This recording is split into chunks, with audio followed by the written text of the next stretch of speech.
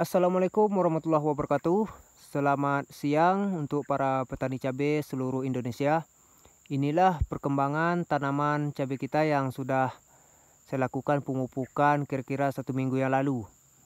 Untuk pupuk yang saya gunakan yaitu terdiri dari pupuk cantik, pupuk saprodap, Yaramila Winer dan Kronkali Dan Alhamdulillah setelah kita lakukan pemupukan dua hari setelah kita lakukan pemupukan hujan turun ya sehingga penyerapan pupuknya jadi bisa maksimal.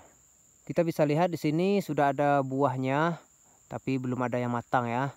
Dan bunganya juga sudah ada bertambah setelah kita lakukan pemupukan. Oke simak terus video kita berikutnya. Wassalamualaikum warahmatullahi wabarakatuh